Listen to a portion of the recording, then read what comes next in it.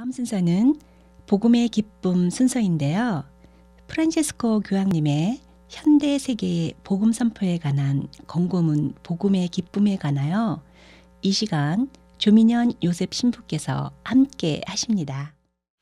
가톨릭 방송 애청자 여러분 안녕하십니까? 저는 뉴저지 마이클 성당의 조민현 요셉 신부입니다.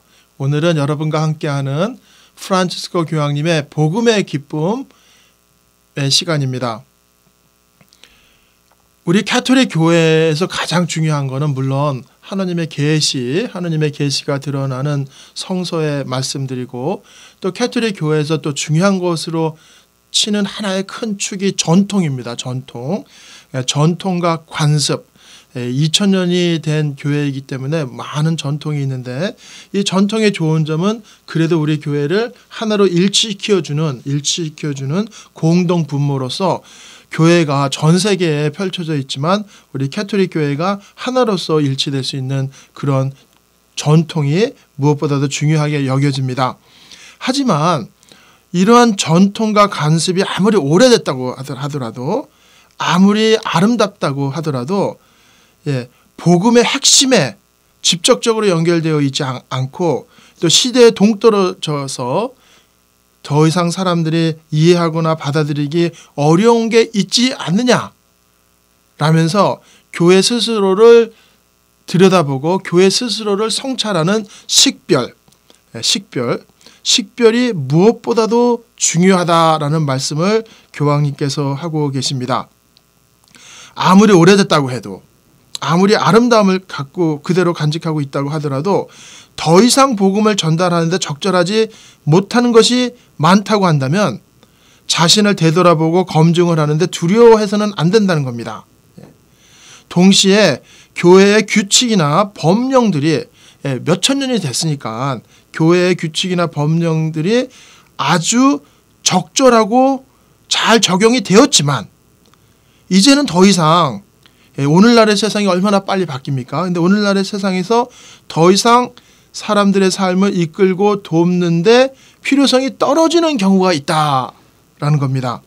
토마스 성인께서 말씀하시기를 그리스도님과 초대교회 사도님들은 스스로 하느님의, 하느님의 백성에게 준 법은 아주 아주 적습니다. 예, 예. 예.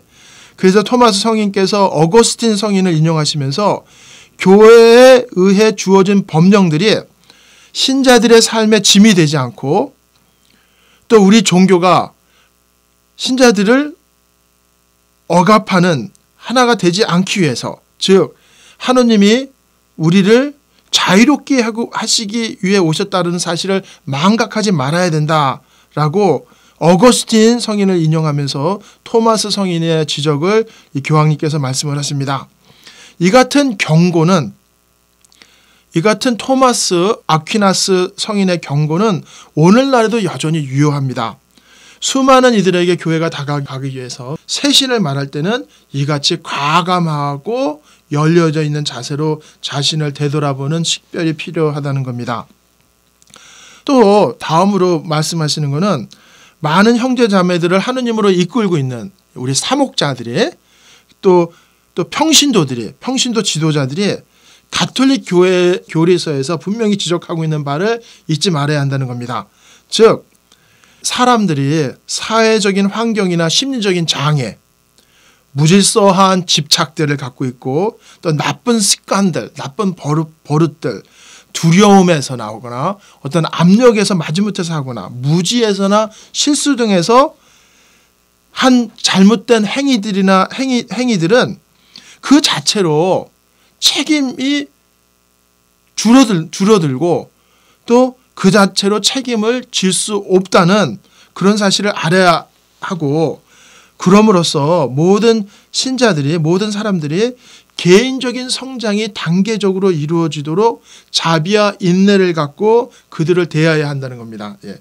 즉 이 말씀은 많은 사람들의 잘못된 행동이나 그 죄나 그런 잘못된 그 행동들이 무조건 단죄하고 심판하는 게 장땡이 아니라 그들을 이해하려고 자비와 인내를 갖고 이해하고 대하려고 하는데 그들의 많은 잘못된 행위나 그 죄들은 사회적인 환경이나 심리적인 문제나 무질서하게 집착된 오랜 습관들, 나쁜 버릇들, 두려움, 압력, 무지, 실수 등에서 나왔기 때문에 그들을 더 이해할 수 있고 그들에게 책임을 전가하기보다는 그들을 오히려 자비와 인내심을 갖고 대해야 한다는 겁니다.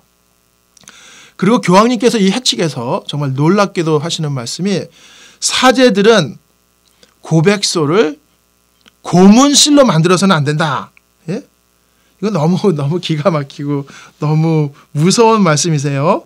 어느 사제가 고백서를 고문실로 만들고 있는지는 모르겠는데 고백서를 고문실로 만드는 것이 아니라 어려운 현실 속에서도 최선을 다하도록 이끄시는 그 가난한 영혼들이 하나님을 만나는 하나님의 자비를 만나는 곳이 바로 고, 고백소지 그것을 심판하고 단죄하고 책임을 지우고 책임을 묻고 하는 고문실이 되어서는 안 된다는 겁니다.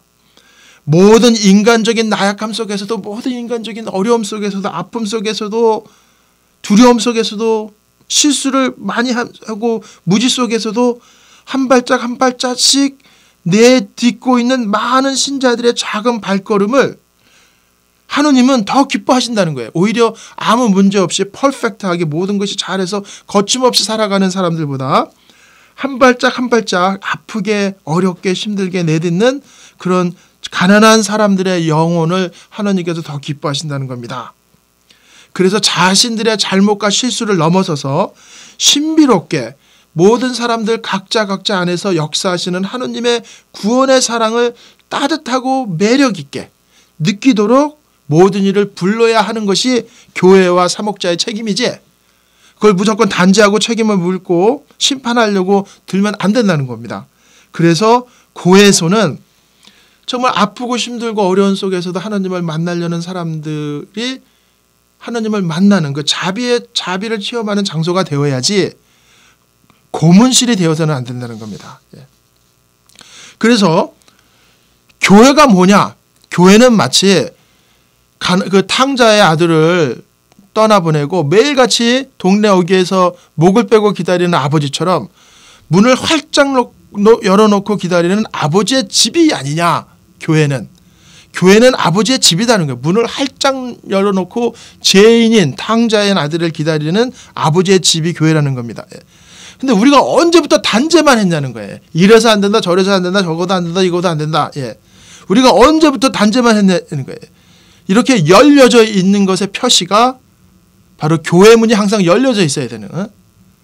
그래서 성령의 이끄심으로 누가 이렇게 교회에 들어왔을 때 바로 성체를 감실 안에서 만나 뵙고 하나님의 체험할 수 있도록 교회가 교회 문이 닫혀 있으면 안 되는데 이거는 단순히 교회 정말 교회 문을 닫혀 있는 것만이 하는 게 아니라 교회 성사의 문도 열려져 있어야 된다는 게 어떻게 해서든 교회의 삶을 나누어야 하는 건데 왜냐하면 모든 이들이 공동체의 일원이니까 단순한 어떤 이유에서든 성사의 문이 닫혀서는 안 된다는 겁니다. 예.